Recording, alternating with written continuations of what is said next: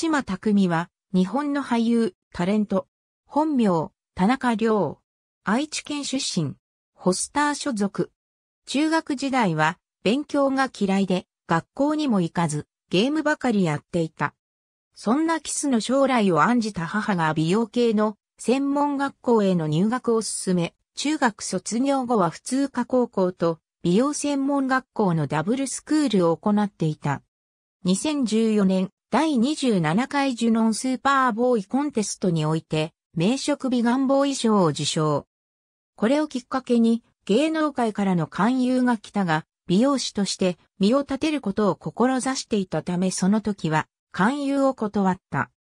一緒にコンテストに出ていた渡辺健が動物戦隊獣王ジャーに西目俊が仮面ライダーゴーストに出演して自身と同期だった彼らがいつの間にかヒーローになっていることに衝撃を受ける。専門学校で尊敬していた先輩に相談したら、美容師は資格を取れば、いつでもなれるけれど、ヒーローは今がチャンスなんじゃないと背中を押してもらった。そうして、ジュノン編集部の関係者に頼み込み、スカウトを断った事務所に連絡を入れてもらった。2017年に宇宙戦隊キューレンジャーで本格的に俳優としてデビューした。特技は水泳。美容とネイルが趣味で高校に通いながら夜間は中日美容専門学校へ通っており、同校のブログに載ったこともある。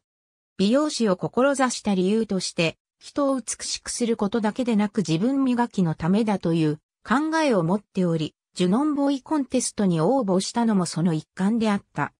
自身の性格について、人見知りで小声で喋ると述べている。宇宙戦隊キューレンジャーで演じたラッキーはハイテンションなキャラクターであったため、テンションを維持したまま演技するのが難しかったが、次第にキャラクターの性格が移ってきたという。一方、変身後のスーツアクターを務めた高田正史は自身と性格が似ており、言葉になっていないフィーリングでうまくいっていたと述べている。メイン監督の柴木隆之は、キスについて素直なこと評している。ありがとうございます。